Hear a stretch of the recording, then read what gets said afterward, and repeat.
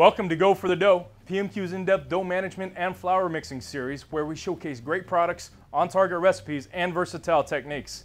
I'm Brian Hernandez, PMQ test chef, and today I'm thrilled to introduce you to Polselli's 100% natural, VPN approved Farina Double Zero Classic flour.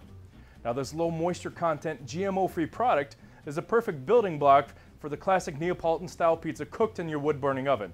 And folks, that's exactly what we're gonna do today in this video. We're gonna mix the flour, we're gonna make the dough, and then we're gonna cook some delicious margherita and marinara pies that would make any pizzaiolo proud. Now speaking of talented Italian pizza chefs, let's welcome my guest chef for today. He's the executive pizza chef at St. Leo's Restaurant and Pizzeria in Oxford, Chef Marco D'Emidio. Welcome, Chef Marco. Oh, thanks, Brian, for having me. Um, and thanks for uh, giving me this opportunity to bring uh, a taste of Italy to our viewers.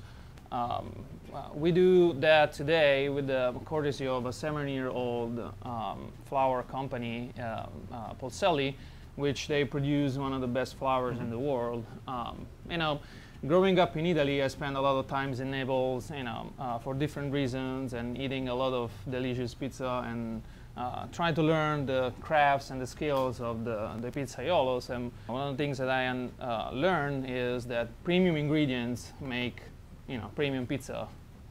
All right, that I mean, it makes perfect sense. So why don't you impart some of this knowledge and uh, help us make a batch of dough using the Polselli flour? Sounds good.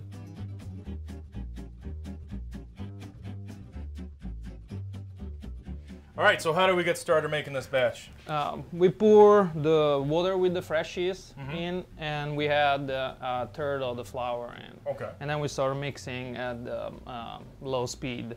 Um, after around three minutes, okay. we add uh, another third of the flour.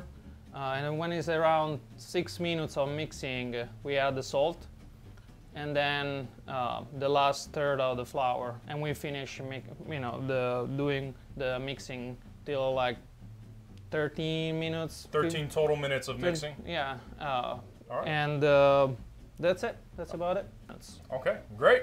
Now, as you guys can see, this exceptionally white flour has some of the lowest ash content on the market due to Polselli's stringent contamination prevention measures. That's right, Brian. Most flour on the market are not, uh, you know, this brilliant white. Um, that's because they have a higher ash levels. Mm -hmm um, so it only stands to reason that the cleanest flour, which has you know earned like a zero, double zero, mm -hmm. uh, you know rating, will lead to um, uh, better uh, tasting, healthier you know crust. Okay, just cleaner crust altogether.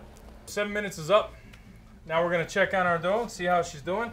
Looks beautiful. Now we got a nice little dough baby here. Yep, it's good. Elastic. It's elastic, shiny. but it's not tacky. Mm -hmm. All right, so we have let our dough sit on the bench for about how long now? Uh, around two hours. Two hours, so it's two hours bench rested. You can already see it's proofed up uh, quite a bit larger than it used to be. So what's the next step now? Uh, well, next step, it's gonna be uncover it. Uncover it, okay. So uh, then you can get the feeling that is, you know, sticky but not sticky. Yeah, it's not quite tacky, but it does have a little pull as you can see, the mm -hmm. fingers mm-hmm. coming out. But that should be nice for rolling, right? Yep. All right. So uh, we're going to start cutting our dough balls and portioning them out, right? Yep.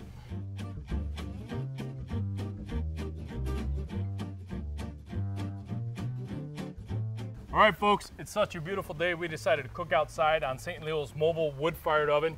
Uh, Marco, as a Neapolitan trained chef, is, are there any nuggets of wisdom you can give us about stretching out this pizza dough? Yes, there are. All right, well, let's get to training here. Let's do it. All right, so we're dusting this in a little bit more of that Polselli flour. Yep. Then we're gonna go from the center towards the alveoli of the pizza, trying to keep the cornicione and form the cornicione.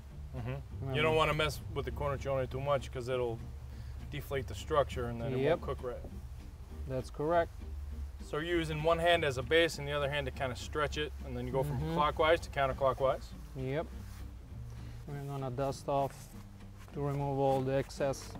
So we're slapping it out gently just to get rid of the excess flour. Mm -hmm. Okay. There you have your. All right, so now we just got to dress this. We're gonna make a basic margherita and a marinara pizza. Just a couple of the, the basics that you should try at any pizzeria just to see how their pizzas are. It's the base test for everything.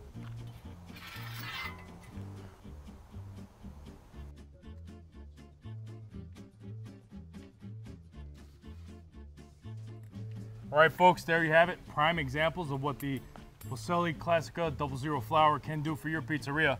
So I guess the final test is just to cut it open and see what it looks like on the inside. Let's do, Brian. Chef, Oh, do thank the you. I'll do it.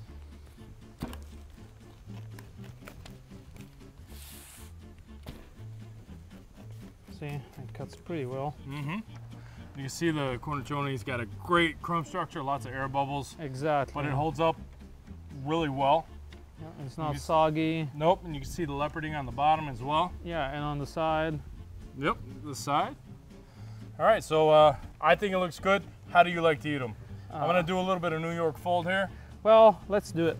All right, salud, mangi. Salute, chin.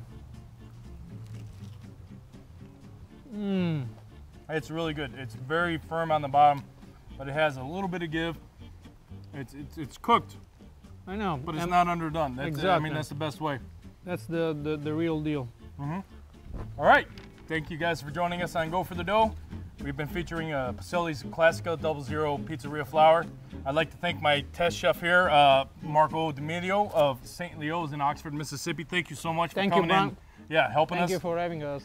giving us all the wisdom that you have. Thank We'd like to see you guys next time. But in the meantime, what do we say? Arrivederci and forni sempre accesi. Forni sempre cheese.